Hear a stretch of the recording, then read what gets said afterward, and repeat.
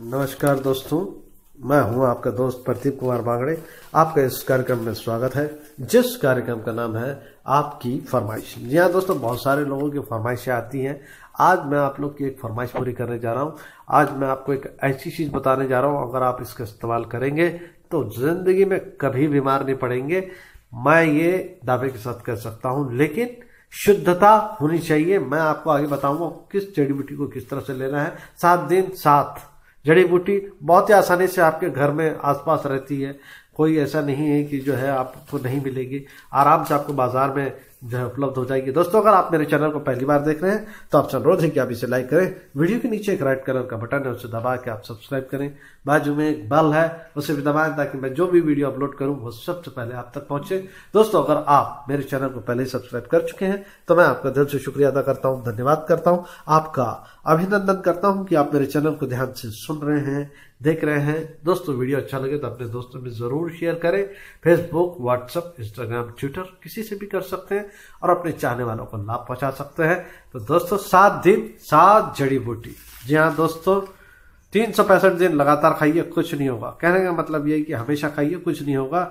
ये आपको कहाँ मिल जाएगा, वो भी बता देता हूँ मैं। आयुर्वेदिक की किसी भी दुकान में मिल जाएगा और बहुत सारी कंपनियाँ कैप्सूल भी बनाती हैं तो आप टैबलेट भी ले सकते हैं। तो दोस्तों, सोमवार को क्या लेना बता देता हूँ, हल्दी।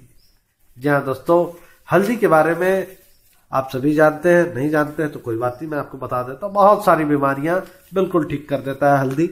अक्सर हमारे बुज़ुर्ग लोग हैं, हमें अक्सर बताते हैं कि भाई, हल्दी ले लो, हल्दी जो है, चोट लग गई है, यहाँ लगा लो तो चोट ठीक हो जाएगी। तो बहुत सारी ऐसी समस्याएँ मैं आपको बता देता हूँ।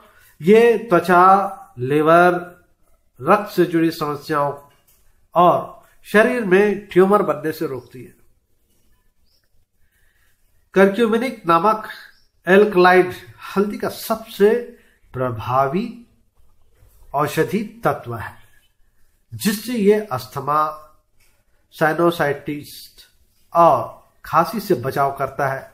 यह मेटाबॉलिज्म को ठीक करने में जो है मदद करता है। शरीर में अगर आपका फैट जमा हो गया है वज़न बढ़ गया है, चर्बी ज़्यादा हो गई है तो इसका सेवन करें। बहुत फ़ायदा होगा। अगर आपको चर्बी नहीं है, तब भी आपको लेना है।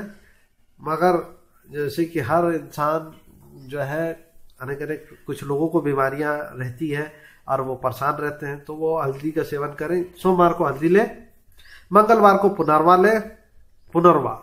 जैसे कि पुनर्जन्म।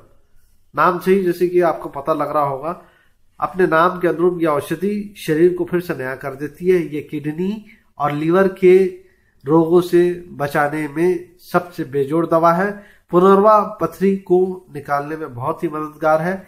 जिन्हें एनीमिया की समस्या है, उनके लिए ये दवा रामबाण है। दालचीनी। इसके नियमित सेवन से जोड़ों के दर्द में जो राहत मिलती है। चाहे जोड़ों का दर्द कितना ही पुराना हो, कमर दर्द हो, घुटने का दर्द हो, कोई भी असहनी दर्द हो, इन सब के लिए ये बहुत ही रामबाण दवा है। तो आपको क्या करना है? इसको लेना है। तो लेने का तरीका मैं प्रोग्राम के अंत में बता दूँगा। खून को शुद्ध करने में दालचीनी एक बहुत बड़ी भूमिका निभाता है। इस, इसको अगर आप लेंगे तो त्वचा से संबंधित बहुत सारी बीमारियाँ, जैसे कि पिंपल्स हो जाते हैं अक्सर। लोगों को जो है, मुहासे हो जाते हैं पेपर्स हो जाते हैं। ये सब ठीक कर देगा। ये मेटाबॉलिज्म को बढ़ाता है। इसलिए इसका सेवन करें। वजनी लोग इसका प्रयोग ज़रूर करें, क्योंकि इससे वज़न कम हो जाएगा। अश्वगंधा, गुरुवार। जी हाँ दोस्तों, गुरुवार को आपको अश्वगंधा लेना है। ये थायराइड की समस्या से बचाती है। इसमें एंटी स्टेट तत्व तत्व है जो तनाव मुक्त करती है। अगर आपको बहुत ज़्यादा तनाव रहता है तो अश्वगंधा आपके लिए बहुत ही मददगार है। अश्वगंधा महिलाओं में हार्मोन्स के स्त्राव को नियमित करती है, जिससे महामारी के दौरान होने वाली समस्याओं में ये बहुत ही लाभकारी होती है और आपकी समस्या ठीक कर देगी। गुरुवार। गुरुवार को गिलोय। जी हाँ दोस्तों, गिलोय जो है, आप इसका इस्तेमाल करें। इसे जो है, आप लेते हैं तो शरीर के भीतर के लीवर और किडनी, इसके कार्य को सुचारू रूप करता है।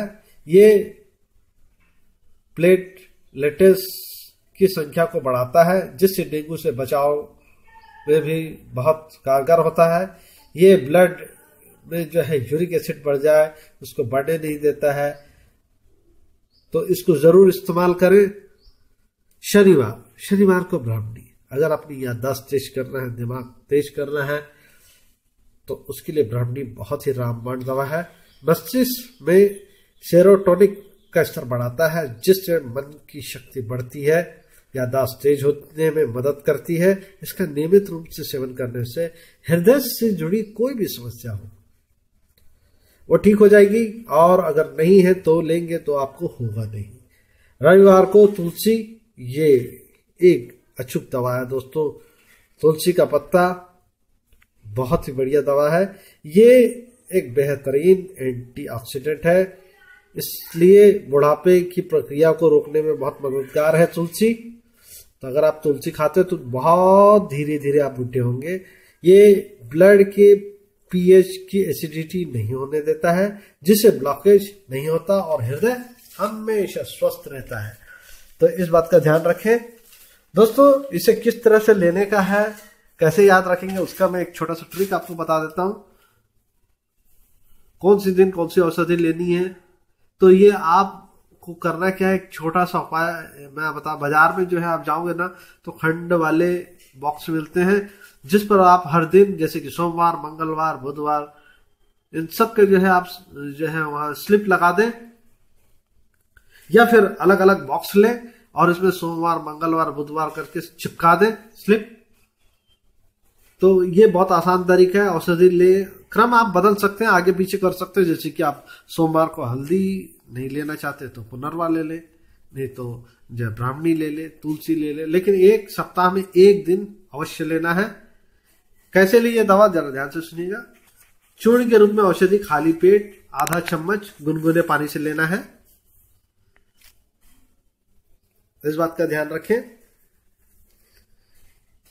और टैबलेट या कैप्सूल जो है 500 सौ की आप लेना चाहें तो सुबह खाली पेट ले सकते हैं।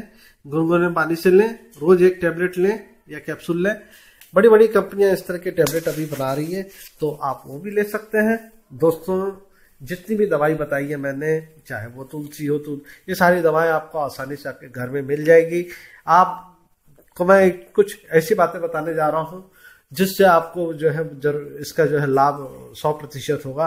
पहली बात तो ये कि तुलसी आप जो है खुद ही अगर हो सके तो खुद ही लाए और खुद ही सुखाए। जितनी भी जड़ी बूटी बताई है, खुद लाए और खुद उसको सुखा के कूटे या पीसें। मिक्सी आजकल आ गई है तो उसमें आप पीस सकते हैं। तो बाज़ार से हमेशा जो भी चीज़ खरीदे, ये आपको आयुर्वेदिक दुकान में मिल जाएगी। आयुर्वेदिक दुकान होता है हर छोटे गाँव में। वहाँ से मिल जाएगी, ये सब चीज़ साबुत ले आए। साबुत नहीं मिल रहा है तब फिर पाउडर का इस्तेमाल वहीं से पाउडर ले लें। कोशिश ये करें कि ये सारी चीज़ें जो है साबुत ले लें। इन सब के पौधे आसानी से घर में लग जाते हैं। आप इसे अपने घर में भी लगा सकते हैं। बहुत सारी ऐसी औषधियाँ हैं और बहुत सारी आप जो है वहाँ से ला सकते हैं। इन सबको आपको लाना है और जो है खुद पीट, कूटना है, पीसना है और इनको जो है अलग अलग बॉक्स में रख के आपको रोज सवेरे लेना है। आप क्रम सिर्फ़ आगे पीछे कर सकते हैं। बाकी आप इसे ज़रूर लीजिए।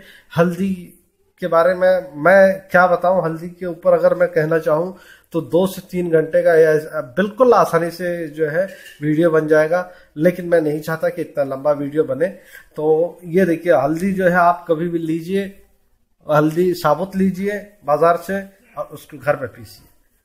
और तुलसी मिल जाएगी आपको, पुनर्वा मिल जाएगा और जो है गिलोय मिल जाएगा। गिलोय जो है उसका बेल होता है, उसको भी आप लगा सकते हैं। दालचीनी आपको बाज़ार में मिल जाएगी। साबुत दालचीनी ले पाउडर ना ले। दालचीनी का जो डंडी होती है, उसको ले ले और उसको जो है पीस के रख ले। तो ये सब चीज़ें आपके लिए बहुत ही फ़ायदेमंद है। तो आप ज़रूर लें इसे। उम्मीद करता मैंने आपको जो जानकारी दी है, वो ज़रूर अच्छी लगी होगी। अगर आप कुछ पूछना चाहते हैं तो आप कमेंट बॉक्स में कमेंट करके मुझे पूछ सकते हैं। मैं आपके सवाल का जवाब दूँगा। तो दोस्तों सात जड़ी बूटी, सात दिन खाइए और हमेशा स्वस्थ रहिए। हर उम्र के लोग ले सकते हैं, कोई दिक्कत नहीं है। छोटे बच्चों को जो क्वांटिटी बिल्कुल कम कर दें। लेकिन बाकी जो है जो है आठ आठ से नौ साल के बाद जो है आप आधा चम्मच दे सकते हैं, कोई दिक्कत नहीं है। तो यह है कि आपको सात दिन में सात बार लेना है। इसी के साथ आप मुझे इस कार्यक्रम से जल्दी इजाज़त दीजिए। नमस्कार, जय हिंद।